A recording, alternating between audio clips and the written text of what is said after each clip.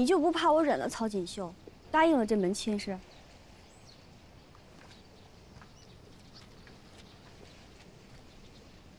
我不是没鱼虾也好的人，你自然也不是。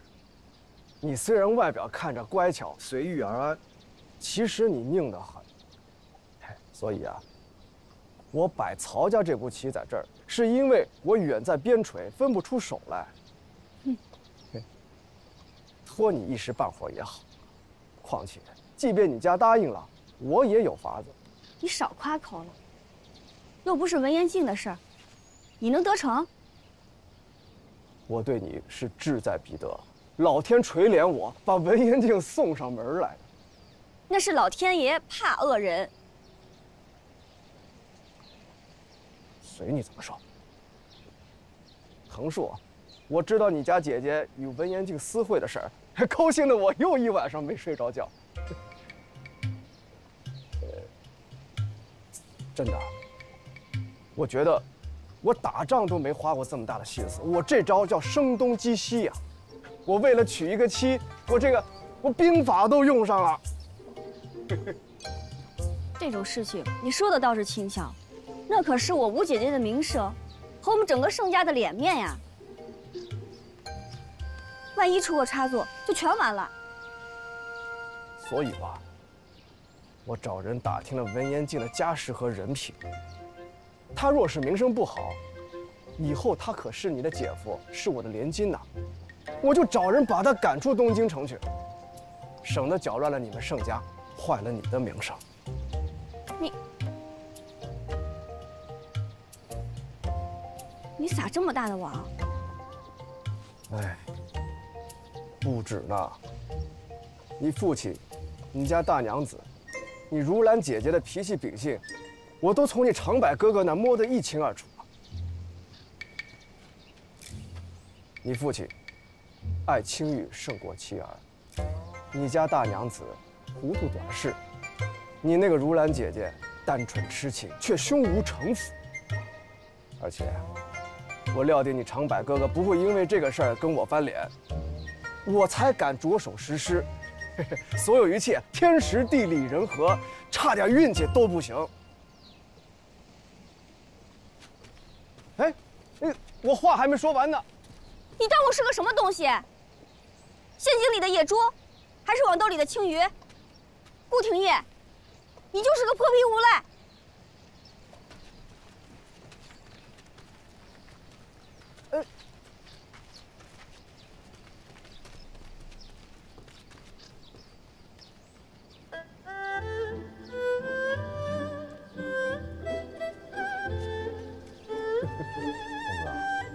六姑娘说什么了？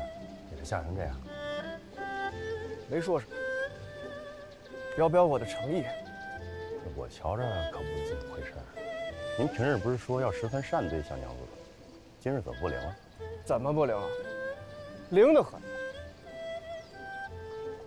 哎，今天是不是该放榜了？啊，对。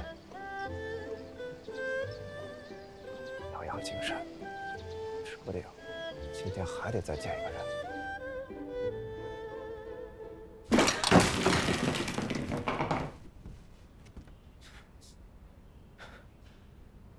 顾廷烨，这怎么可能？是真的，那盛老太太也是这么说的。这不可能，盛家就算要嫁，也会嫁如来。那王大娘子绝不会任由一个庶女嫁入侯府的。那如兰已经许了新科进士，是盛家提携的人。顾廷烨上门提亲晚了一步，便定了明兰。儿啊，这都是命。他晚了一步，你也晚了一步，就别太计较了，把明兰忘了吧。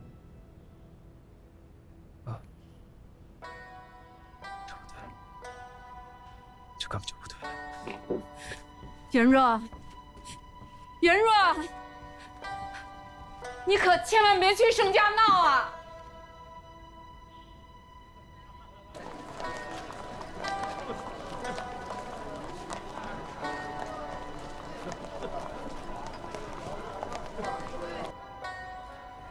哎，元若，二叔来的这么晚。贵人事忙啊。小公爷金榜题名，可喜可贺呀！恭喜恭喜！这个为啥这么不高兴？谁惹你生气了？你明知道我心里一直想着明兰，你为何还答应盛家娶她？你是何居心啊？你还想着明兰呢？我这可不知道啊！我只知道你丧妻之后，闭门苦读。不闻窗外之事，我以为你已经释怀了。这阴差阳错的事儿，你不能怪我吧？我听说了，你本来要娶的是盛家的嫡女，结果人家许给了别人，你这才要的明兰。她在你眼里不过是个充数的，你放过她吧。是你先放弃了她。当初我可劝你。不要害怕雍王的势力，你若答应了，我便替你刀山火海的去走一遭，成全你们俩。可是你呢，畏头畏尾，不敢铤而走险。你放弃了他，你为什么现在来怪我呢？我没有放弃他，我必须得高中了进士，我才有脸面去盛家提亲。我只是晚了一步。你要脸面，人家姑娘就不要脸面了。当时你和明兰的事儿传得沸沸扬扬，京城里无人不知，无人不晓啊。你可以不娶她，去娶一个县主，没有人说你什么。她一个小官家的庶女会是什么下场？你不知道吗？再说了，若你真想娶明兰，你丧妻之后立刻去盛家提亲，那你还有机会。可你不去啊，你说非要等你高中之后。你若说今年不中，你让他再等三年，再等六年，永远这样等下去，等到你面上有光了才去吗？我不是为了脸上有光。上一次大局未定，我就匆匆许诺，最后违背了诺言，伤了他的心。所以这一次，我一定要十拿九稳了，再去他家提亲。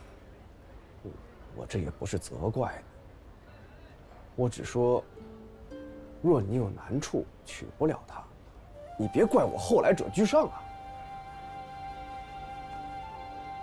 你又不是非她不可，你怎知我不是？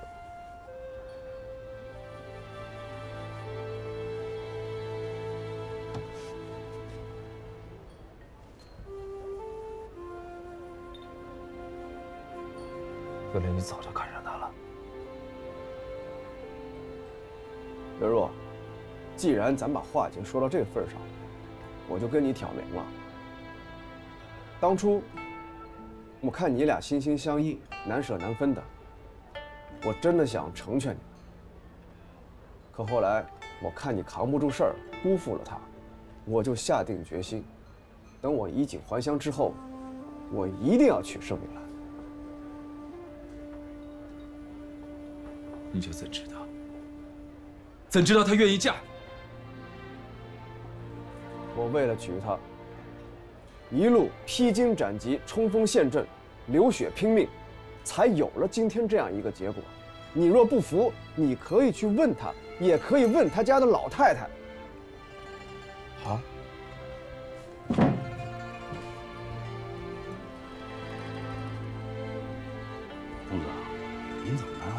去问六姑娘，她跟小公爷可比跟你有交情啊。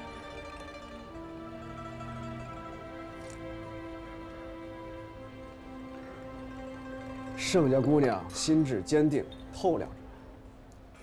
当初我实在是怕她会选贺鸿文，但我知道，怎么，她都不会再选小公爷了。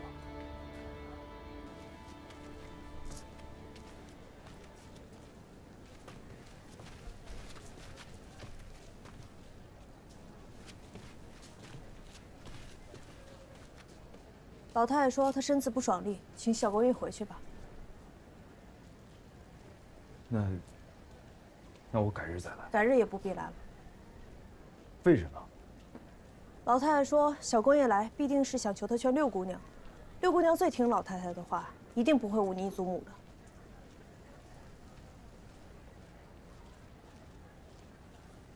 老太太，还真是明察秋毫啊。所以老太太说，小公爷也不必浪费口舌了。当初你做的事，他还没忘呢。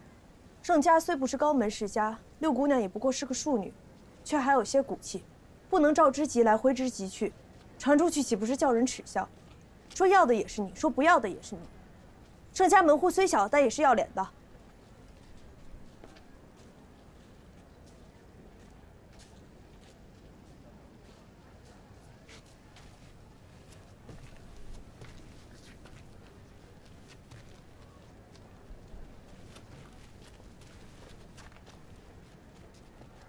小桃姑娘，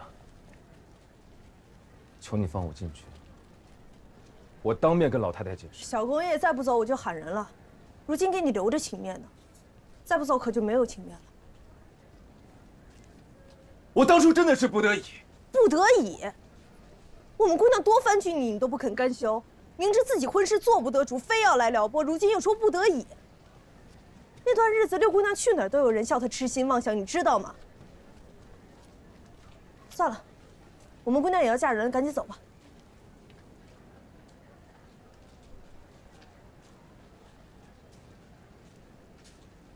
她，她真的愿意嫁给顾廷义？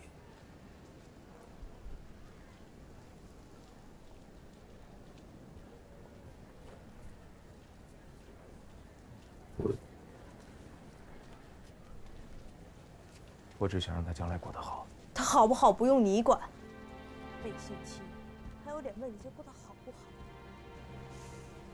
你再不走，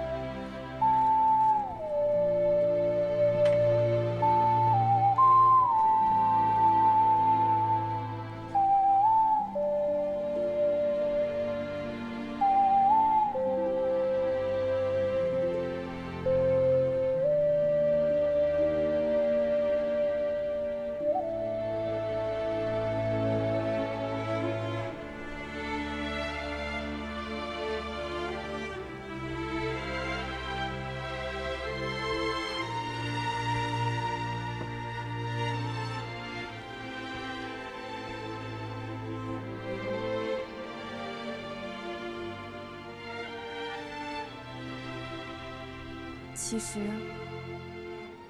小公爷也挺可怜的姑娘。反正眼下，老太太还没有答应顾家，要不……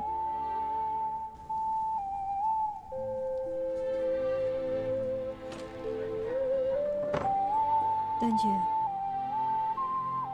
永远别向后看。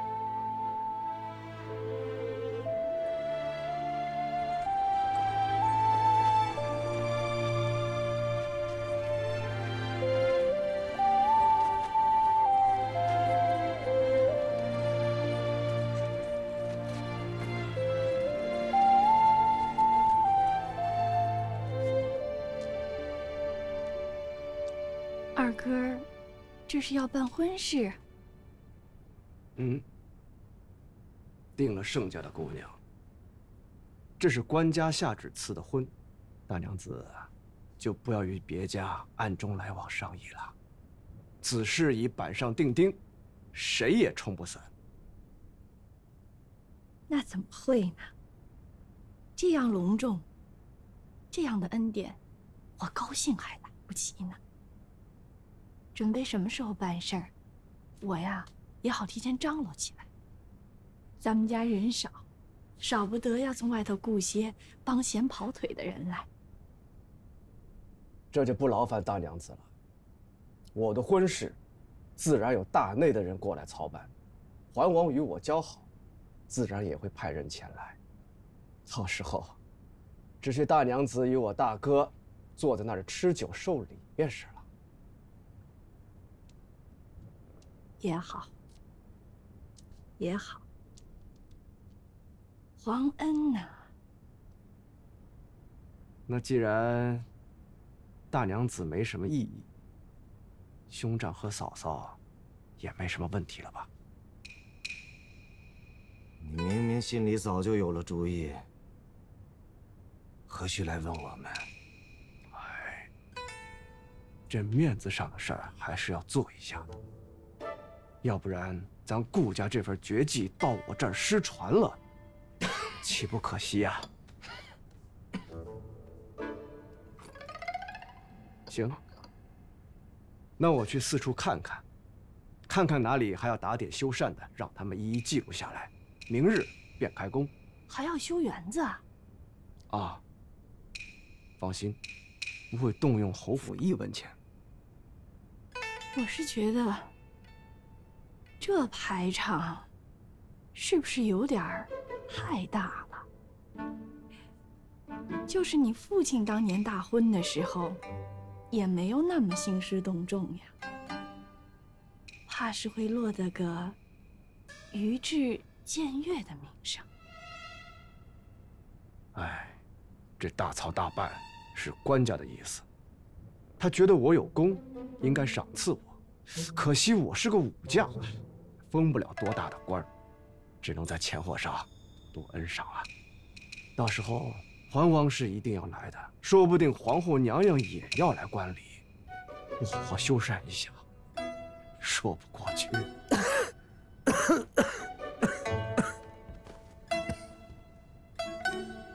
告辞了。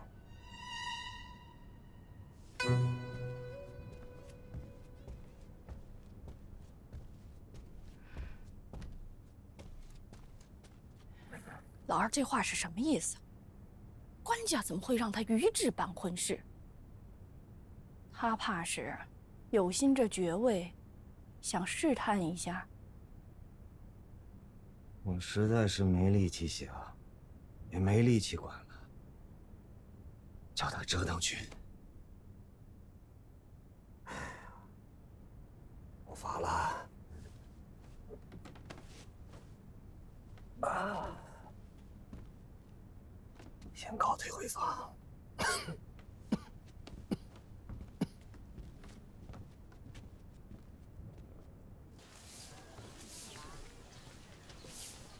一会儿你们去那儿也量量啊，把那儿量量。我看一眼。哎，规矩规矩，把那灯挂上。这个，哎。都记记下了，记下了，我记下了！这大娘子说的是真的吗？二叔是要夺爵？你我没有儿子，我百年以后，爵位顺理成章是老二的，他还用夺？真正想夺我爵位的。是他大娘子自己，他怕是早八百年便惦记着我快死了，趁着老二不在家，让他亲生的老三袭爵呢。可老二不是回来了吗？回来又如何？瓦罐不离井口破，大将难免阵前亡。老二将来出兵作战，难保没个三长两短。若日后他再没个子嗣，嗯，对我那个姨母大娘子更是有利。瞧着吧，盛家嫁过来那姑娘，有骨头吃了。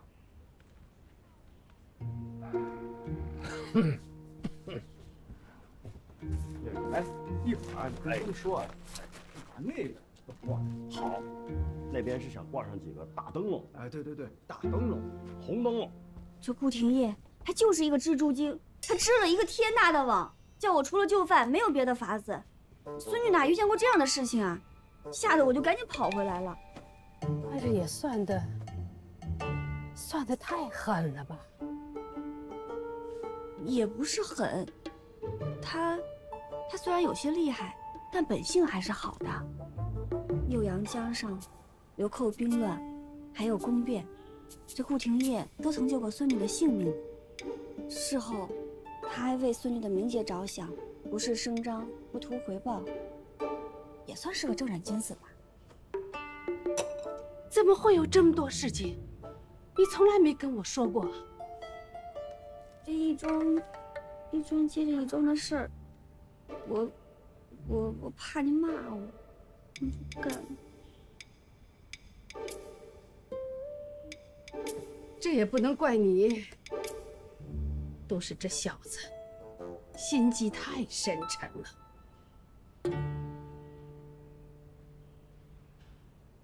我问你，这顾廷烨将一切与你说开时，你是怎么想的？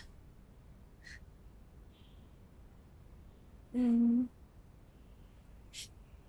一开始我心里还有些暗暗得意，居然有人这么费尽心思打我的主意。后来我就觉着越想越生气，我恨不能抽他一巴掌。再后来，我就觉着发愁。宗母，你说这人这么厉害，我以后可该怎么办呀？这套子太大了，若不是如今形势所迫，他这样的诓骗，也不能答应他。常言道，伴君如伴虎。他如今这么费尽心思要娶我，那那日后他若厌弃了我，又不知道他会费尽心思做些什么。而且，而且，我与西恒的事，他全部都知晓。那不就相当于我有一个短处握在他手里？咱们顾家的事又家产不清，我我怕我应付不来。只要你不愿意，就算官家赐婚，我也不会将你交出去。那你。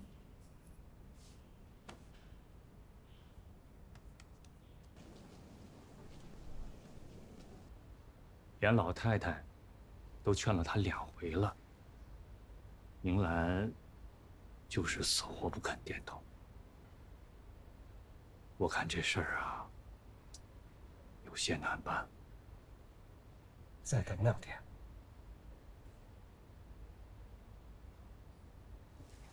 我那六妹妹可不是寻常女子啊，我最是清楚了。别看她平日里温顺谦让，最为孝顺。可一旦要是拿定了主意，是绝对不肯轻易动摇的。你再这么等下去也不是个办法。再等两天。哎，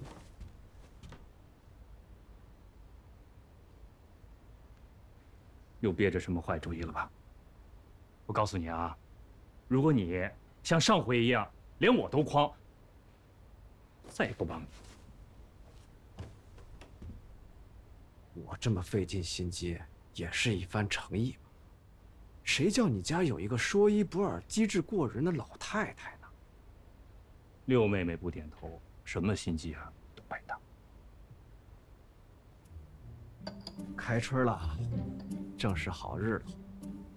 我去到皇后娘娘面前，死皮赖脸的求她帮我办一场马球赛，到时候会遍邀京城的名门闺眷。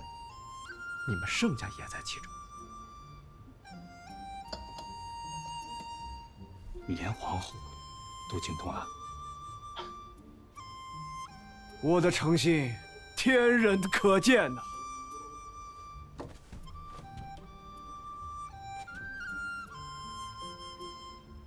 我觉得会适得其反。你看啊，你用皇后来吓唬我妹妹，她反而更会畏缩不前。我觉得你吧太不了解你家六妹妹了，吓唬她，她才不怕呢。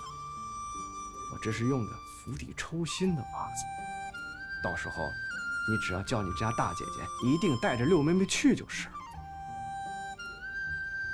我只求你啊，别再装神弄鬼，靠我们家就行。弟弟，我写好了。蓉儿的字。写的越发有模样，一家子机灵鬼。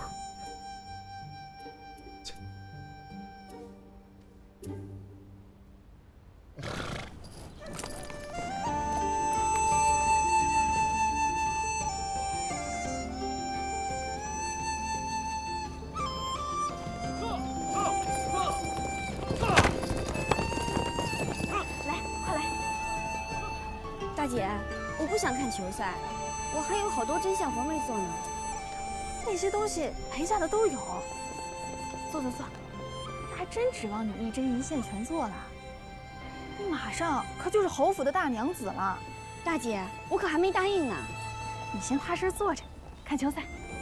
线香燃尽，红方石头，本局红方胜，得台一如意。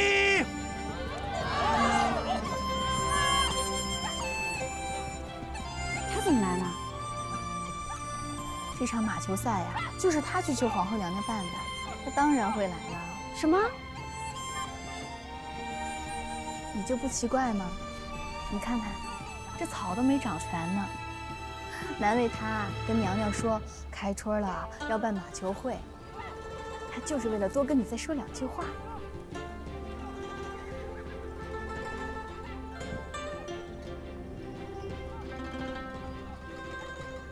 皇后娘娘万安。仲怀，你今天不下场吗？你怎么不换衣服啊？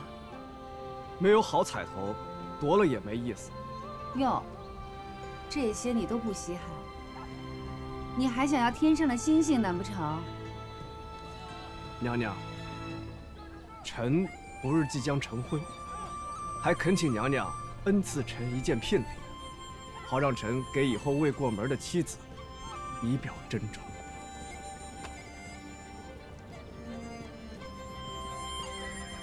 也不知道是哪家的姑娘这么好的福气，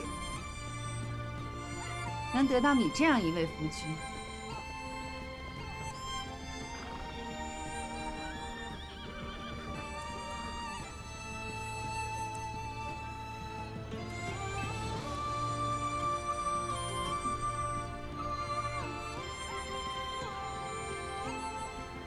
是我家皇后免服时用过的钗。念你数次奋不顾身，救驾于危难，就送你吧，拿去做聘礼。多谢娘娘。不过你要赢了下一局，才是你。臣遵旨。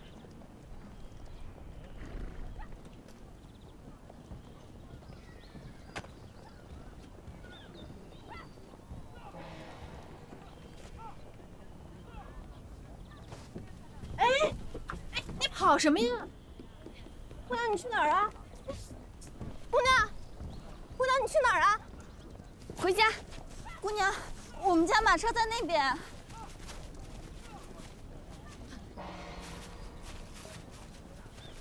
姑娘，慢点。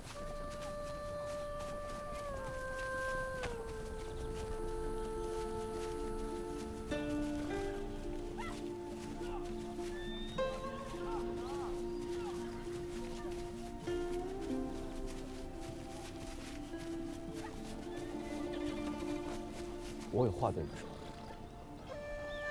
二叔，你这是仗势逼人吗？你放心，我不是个死缠烂打的人。今日，我把心里话都对你说了。你若还不肯点头，我便不再纠缠。还有，不是让你别叫我二叔。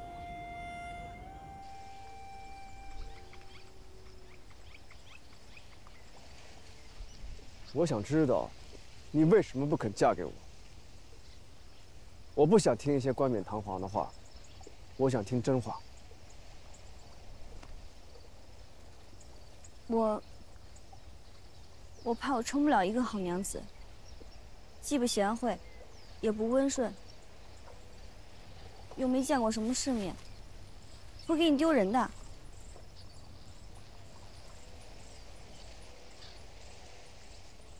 这听着不像实话。你们顾府人情复杂，多有矛盾。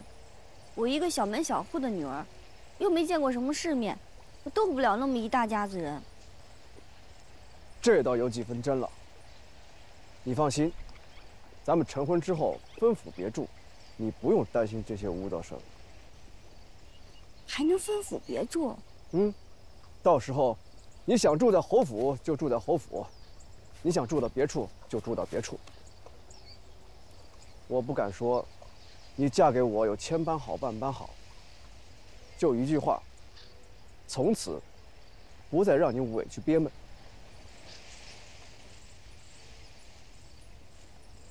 我我自小锦衣玉食，何曾委屈憋闷？也不需要谁来充什么大英雄，救我一水火。你呀，就是一个巧言令色的小骗子。你一直憋闷，你生出来到现在都在受委屈。你看不惯那些嫡庶的礼节，却不得不遵从。你明明事事优秀，可却处处。都要低就。你一直不敢冒头，所以才找了个不上不下的贺家。冒头？我因为冒头闯出了不少祸事来，你都亲眼看见了。结果呢？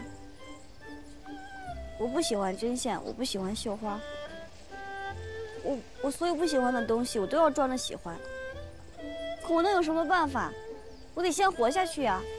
你就是太明白了，你聪明，你通透，你事事都看得清楚，所以你不敢越雷池一步。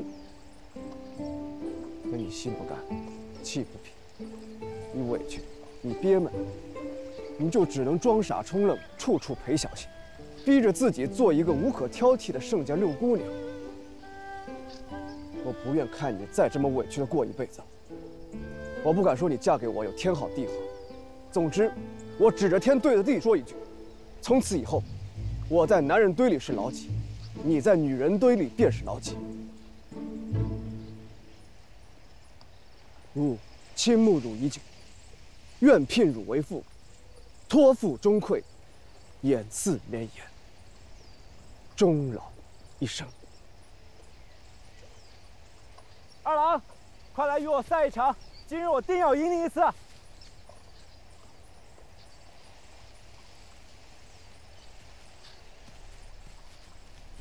哎，不必理他。为何不理？那你，你你就赢不了彩头了？哼，我自然赢得了。他们有两个人，你有吗？我一人足矣。如果我们一起上场，会不会杀的太厉害？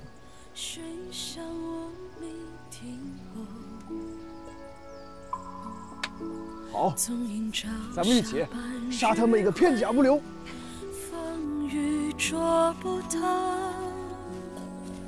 一人共长相守，太高冰泪难流。锦书送罢暮回首，无语。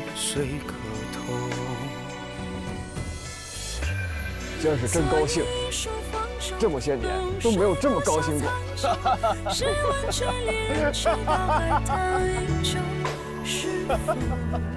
我也高兴。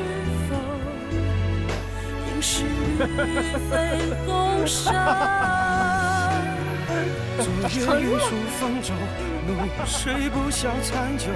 试问卷帘人，却道海棠依旧。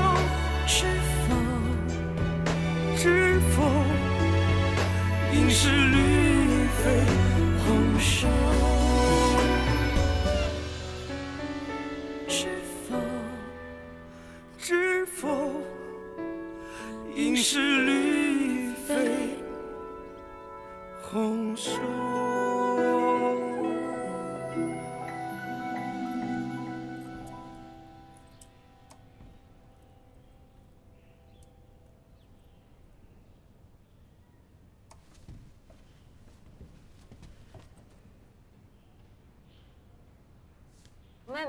是贵人了，怎么有时间到我这儿来啊？我姐姐生气呢，那那我改日再来。六姑娘，六姑娘，我们五姑娘可想六姑娘了，六姑娘就进来陪我们姑娘说说话吧。喜鹊，嗯，你伤怎么样了？谢姑娘挂怀。其实那日打的也不真，我们姑娘还扑上来替我挡着了，上了几日药都好了。那你好好歇着，别累着了。谢谢姑娘。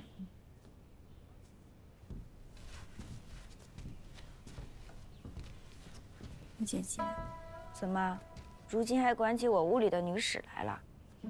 日后这家里还真是要你横着走了。我母亲说了，这顾家给妹妹送来的聘礼，那可是堆山马海的。看来日后，也许我也要六妹妹来帮衬着呢。大娘子说的，肯定不止这一句吧？自然是不止这些啦。妹妹，你这门婚事的好处也不止这些呀，就连那心腹的克星、亲生的公公婆婆，妹妹你也是没有的。哪里？吴姐姐，你也没有公公呀？可你不知道我那个婆婆，前些日子到家里来会母亲，那个尖酸刻薄的嘴脸啊！他儿子不过是榜上二甲十三名，跟我哥哥可差了一个榜呢。我都没说什么，他可倒好，像是做了玉帝的亲妈一样，这叫一个摆谱。还说什么，哦，若是我嫁过去了，就凭着一幢院子住就行了，气得母亲到我房里来骂，还说你那个未来婆婆，还有顾二郎来求亲的时候是多么的高贵典雅、和蔼可亲，气都气死。那吴姐姐，嗯，我若跟你换了嫁，你可愿意？你愿意呀？我自然一百个愿意呀！我原本就觉得姐夫还不错，又会翻墙，会嫁人，又会吟诗弄词的缠绵悱恻。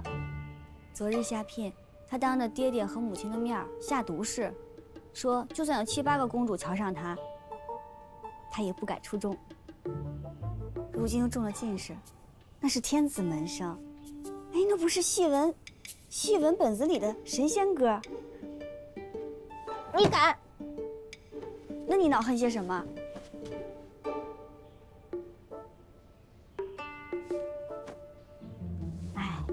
六妹妹，我只是想到，之前去伯爵府看望大姐姐，见着她那个婆婆那个凶狠的脸，那会儿我就说。若是我日后过上如此委屈的日子，那我宁愿做一辈子的老姑子呢。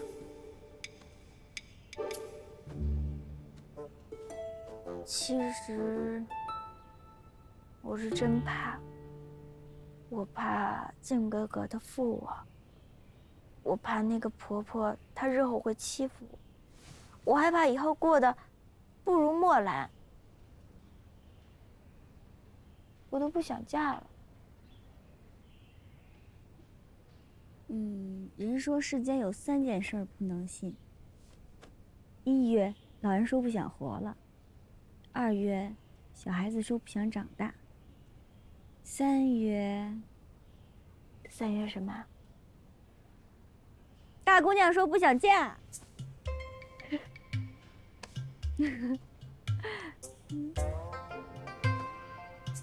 要是。直接当婆婆就好，这嫁人真是太难。哎，婆婆也是媳妇熬出来的，嗯，姐姐也会有那一天的。那若是没有婆婆就好了。哼，没娘哪来的儿子啊？你这话说的比念完经不要和尚还狠。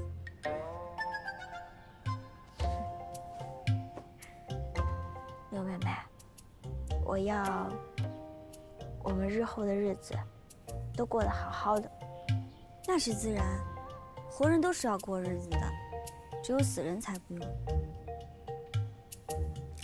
你可要小心了。顾家那些亲戚妯娌，都会嫌弃你是庶出，给你脸子看的。不要紧，我不看他们的脸就行。嗯，你那么聪明伶俐的，他们也一定会喜欢你。你也是。我？我才没有。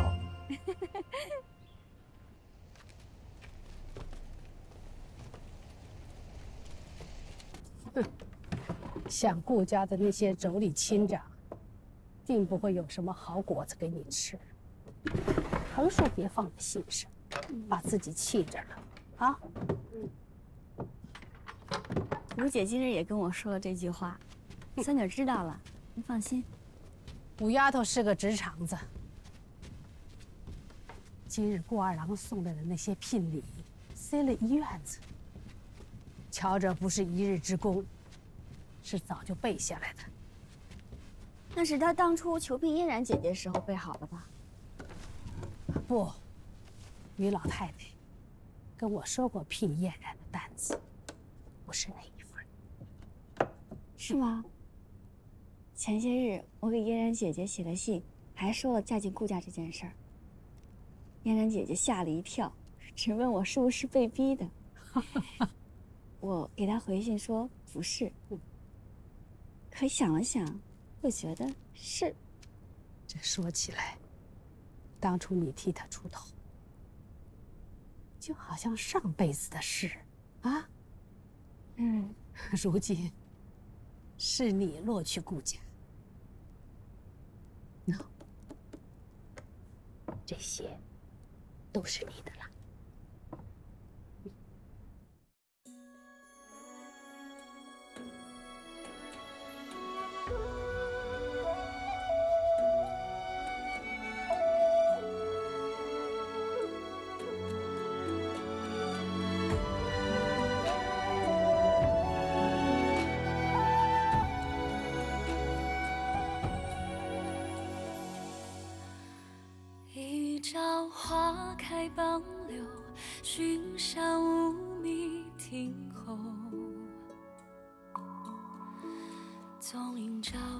半日晖，风雨捉不透。一人共长消瘦，太高冰泪难流。锦书送罢莫回首，无语随客偷。